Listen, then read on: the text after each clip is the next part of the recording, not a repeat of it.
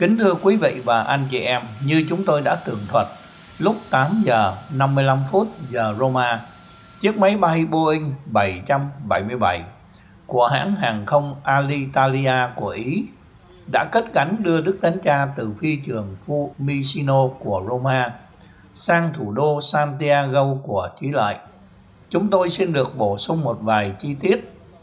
Vào đầu chuyến bay, Đức Thánh Cha Francisco đã chào thăm 70 ký giả cùng đi trên chuyến bay với Ngài. Đức Thánh Cha nói, Cảm ơn vì công việc khó khăn của anh chị em. Ba ngày ở nước này, ba ngày ở nước khác. Đối với tôi sẽ không khó khăn ở Chí Lợi. Tôi đã từng học ở đó một năm.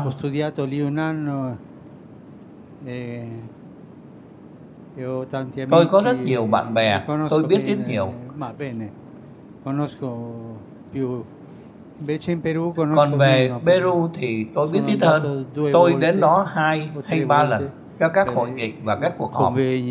Ký giả Xavier Camara, một người thân quen với Đức Giáo Hoàng cho Tổng giáo phận Santiago biết, Đức Thánh Cha đã theo học vào năm 1960 tại trung tâm đào tạo của dòng tên ở Santiago. Đó là đền thánh Alberto Hurtado của dòng tên mà Đức Thánh Cha sẽ biến thăm vào lúc 7 giờ tối thứ ba 16 tháng Giêng và gặp các viên mục cùng dòng tại đây.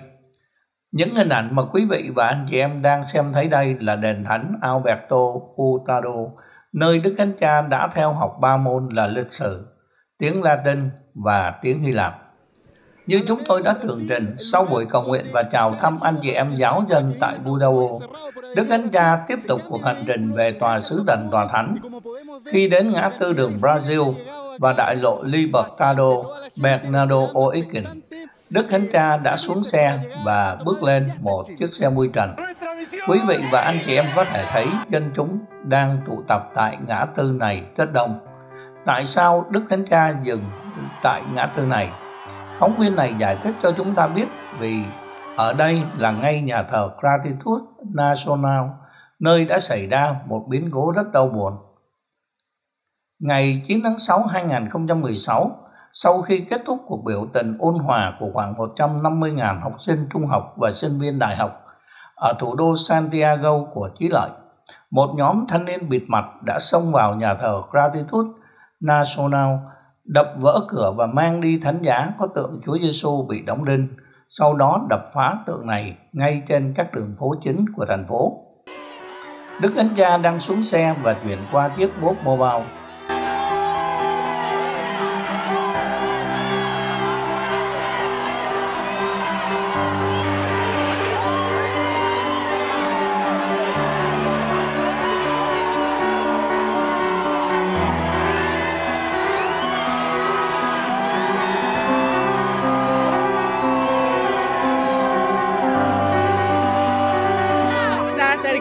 dije, papá, sos grande, ¿qué más que eso? Sos grande.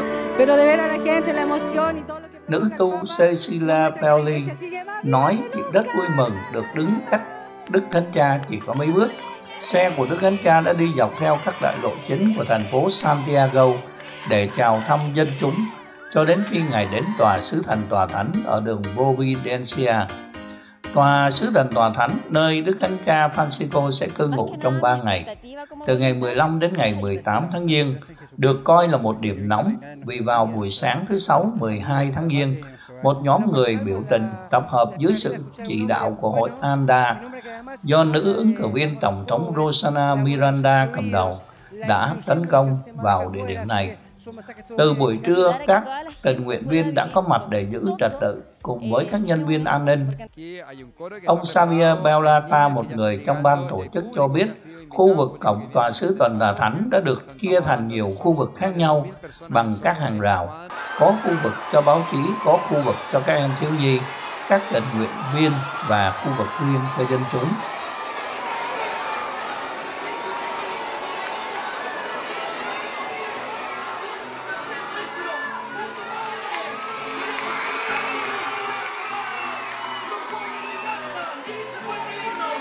Khi Đức Thánh Cha đến nơi, Ngài nhận hoa từ hai em bé, rồi Ngài đi thăm dân chúng. Họ tràn xuống vây kín Đức Thánh Cha. Ngài vui vẻ thăm hỏi, ban phép lành cho họ, khiến nhiều người bật khóc vì cảm động.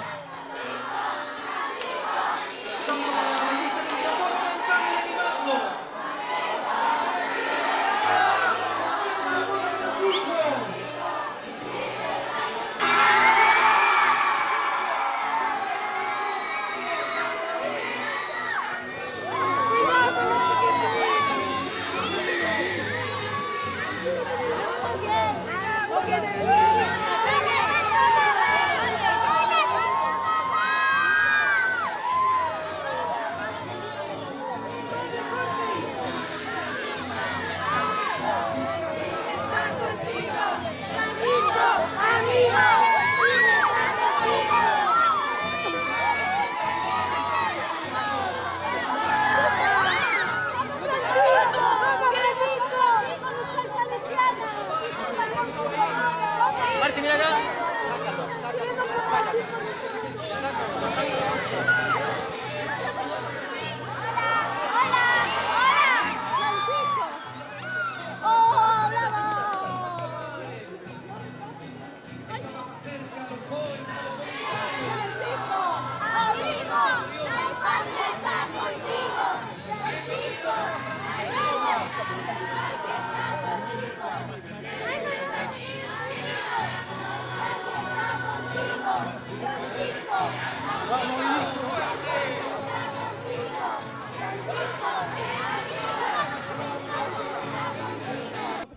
Morir varias veces y que Él lo bendijera ya termina para mí de decir que ya estamos bendecidos totalmente, de verdad.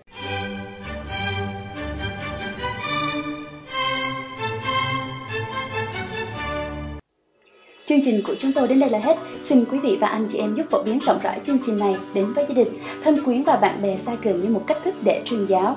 Mọi ý kiến đóng góp xin gửi về địa chỉ tv at vietcatholic.net. Xin cảm ơn và hẹn gặp lại quý vị và anh chị em trong lần phát hình tới. Laudetur Jesus Christus, ngợi khen Chúa Giêsu Kitô. Te invitamos a una minga donde se unan nuestras almas, trabajando todos juntos que este pueblo junto a Cristo se levanta. De la cordillera al mar, norte y sur ya están en marcha.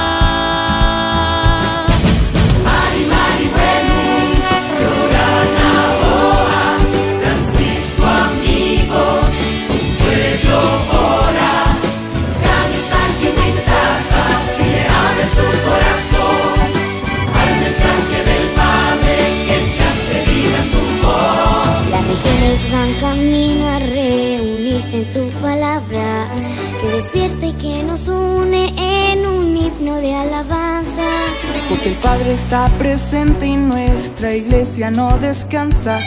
Porque Chile más que nunca necesita tu enseñanza. Ten confianza que mi patria es tierra fértil, tierra santa. Y que fruto de este encuentro brotará una nueva alianza.